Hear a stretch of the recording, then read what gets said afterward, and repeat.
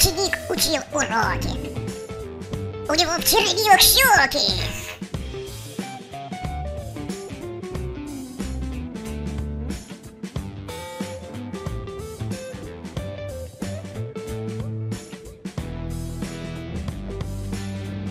Ученик учил уроки.